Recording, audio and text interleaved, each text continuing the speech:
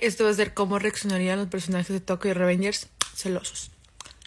ok, este personaje llega, te besa enfrente del vato y se le queda bien con cara de... ¿Qué güey? ¡Ay! ok, este vato se te queda viendo desde lo lejos y nada más sientes la miradita y te quedas un cara. Oh. El personaje ni pregunta, nomás llega y lanza un putazo.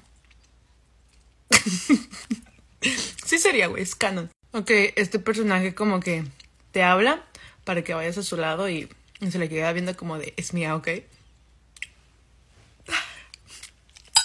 Este personaje nada más se emputa y se va. No te dice nada, güey. ok, este personaje llega, te abraza por la cintura y te pega hacia él y nada más se van. O sea, no le dice nada, nomás.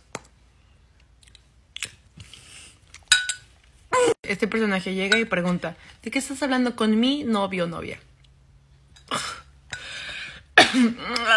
o sea, me atraganté, Que este personaje se pone triste contigo, pero no te lo hace notar, o sea, nada más te deja hablar. no, güey. Ok, este personaje llega, te carga y se va. Así.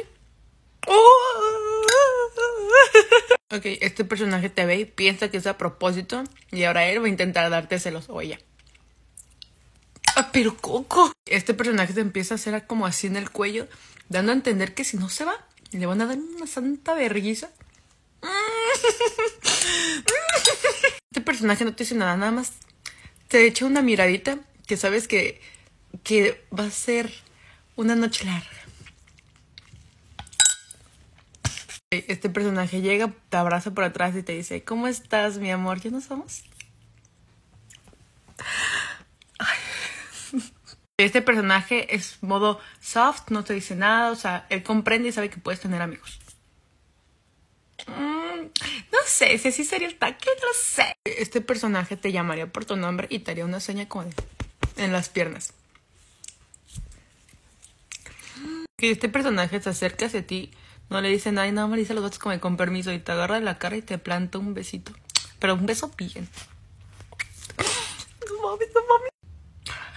Ya, por último, pero no menos importante, este personaje llega y te abraza por la cintura, pero suena a la, plática, o sea, cero tóxico.